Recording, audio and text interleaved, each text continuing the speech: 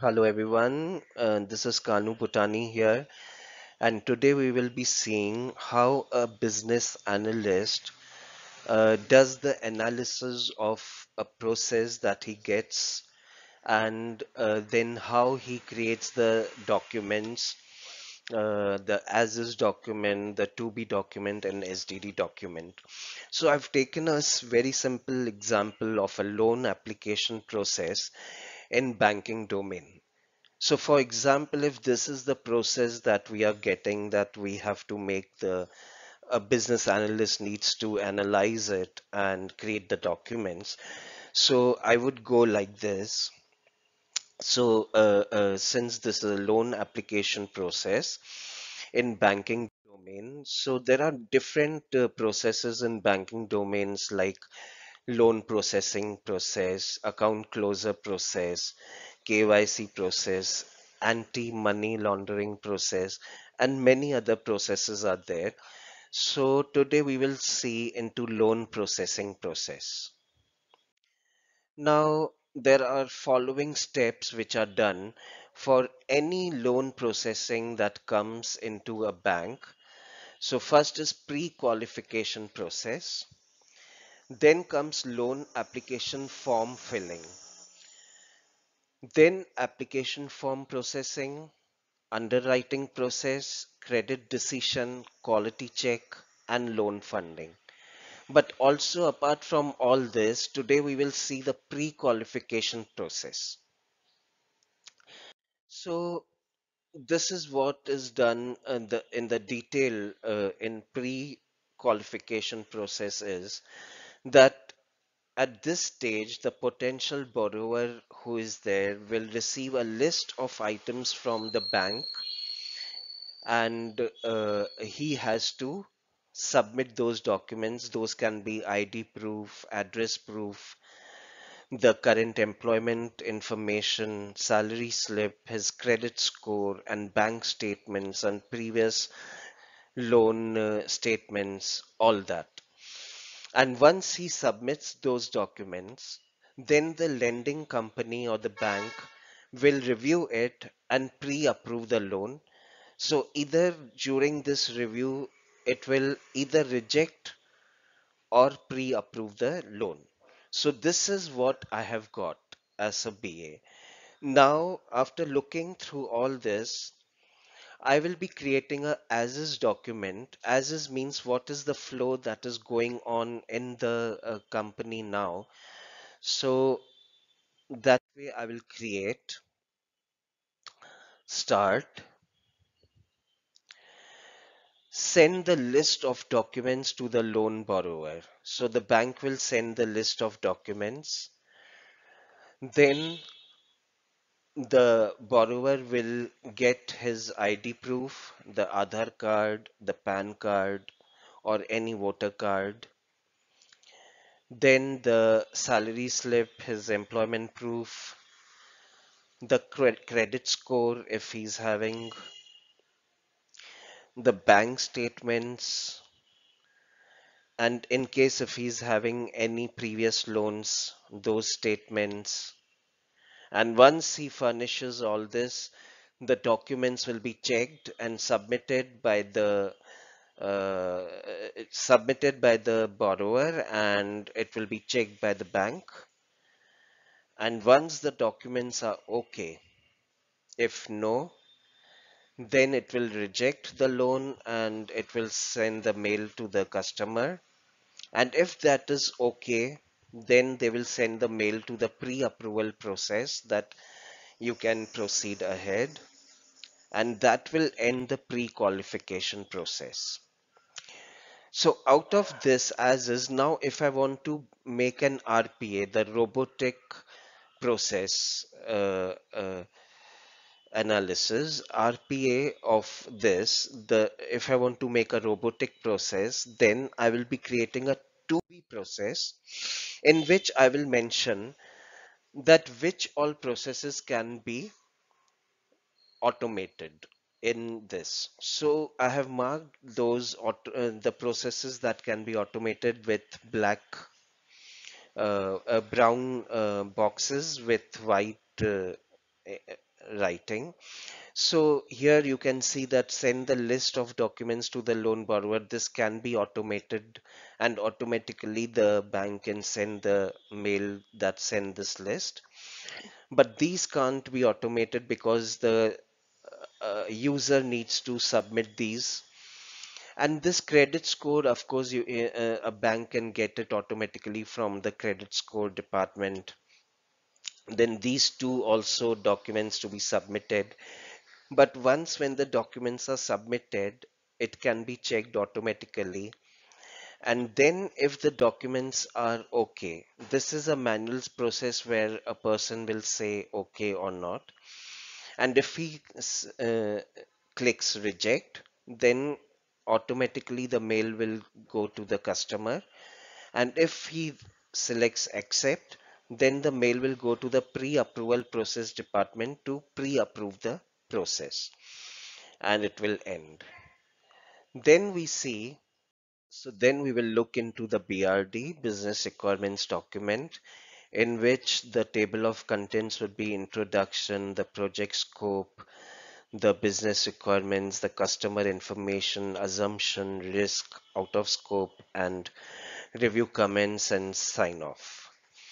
So the first one is purpose in which we will write this document is what purpose. So we would say that it is uh, defining the pre-qualification process and then we'll give here the business overview in which we'll say that okay this process will actually get the documents from the user and the bank will process the documents and if they are okay then they will go for pre-approval process. But if it is not okay then uh, it will reject and send the mail to the user. Then it will be the project scope. We'll write the project scope that what all things will be in scope and what all things will not be in scope. The way I showed you what all things which are there in manual so uh, once uh, the robotic process begins, the there are some steps which will be manual and what are the t-shirt sizing. So in t-shirt sizing, you will find the parameters, number of applications, how many number of applications are there, how many number of screens are there, number of uh, description points are there, number of decision points is there. And based on all these different different things, we will come up with the t-shirt size. Uh, it can be large extra large or small or medium. Once we decide this then customer information what are the responsibilities of the customer we can note it down. And then uh, the customer applications and scope. In case if there is any other third party uh, applications we are using we have to decide and describe them here Okay, then comes the business requirements. Over here, you have to mention all the business requirements one after another and uh, the details of it, like you're logging into the screen and then you're going into another screen. And then what are their functional requirements? So you have to note it down here. So this way it will create the step by step uh, the process. And in that you can just put what will be the automation process and what will what all will be the manual processes done by the uh, banking professionals who uh, will be uh, approving it or rejecting it. So everything that details will come here. Then high level process flow in high level process flow the thing will come the your as is diagram and the to be diagram you have to just take the screenshot of the same and it will come here in high level process flow. In business requirement details again here step by step you are logging into the portal but here the screenshot also will come of each and every uh, screen in which you are logging in and then uh, uh, getting into the application uh, process application uh, form download screen so that way you will be putting all the screens also and marking it with the highlighter uh, to exactly what and which place is to be clicked and then move ahead. So all this is to be written in this. The assumptions, these are very important. Wherever you find very small thing also that you want to assume, say you want to assume that the site will be down, then what will happen? So all those assumptions will come here these are very helpful when you actually uh, show it to the customer and customer should not come back with some of the things which are not in our hand and uh, we uh, have to uh, be dependent on that so all those will come in assumptions and followed by assumptions there are risks of course you have to put each and every small risk that you feel that will hamper your uh, flow or the automation flow. So those risks will come here. Then what all things are out of scope, each and everything, uh, the functionality which is not documented in the FRD or the BRD will be considered as the out of scope. Apart from this, you can put whatever you feel that it is out of scope. Now, the best uh, why why these are considered uh, necessary to be put in BRD, the assumptions, risks, and out of scope is that uh, we really get help from these uh, once we start delivering our project uh, during the production phase or the UAT phase. Finally comes the review comments. Once you complete this BRD document, then you send it to the manager, to your manager, and your manager will review it and he they will put the comments over here. Then you have to again come here, see what are the comments, and then you have to change accordingly or update your BRD accordingly.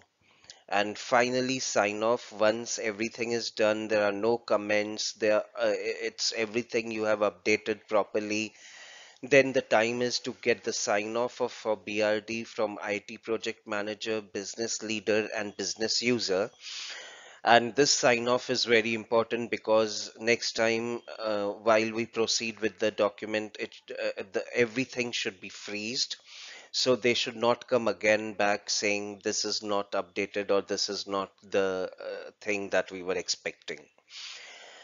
So once the sign off is done, then the we are completed with the BRD process and the work of a BA gets over here by once he hands over this BRD document to the implementation team. And uh, once when the implementation team starts working on this then they can get back to me get back to a business analyst and ask the queries that they have. And finally when there is a UAT phase and UAT is going on that time uh, is another important time when uh, a business analyst has to get in and understand and see that all the functional points are tested correctly are done correctly. So that's it from the business analyst point of view that uh, we look into this and uh, try to get the uh, details and put it in, in the as is, the to be and the BRD document. You know, BRD is sometimes called as SDD so uh, they are all interchangeable words. Uh, so uh, this this has uh, the things that are to be noted down and it to the implementation team and this is the way a business analyst works with the client team the implementation team and his own team the assessment team. And uh, working with the cross teams we finally come up with this solution. So I hope this was a very informative session for you. And uh, uh, you will certainly uh, get good information out of this.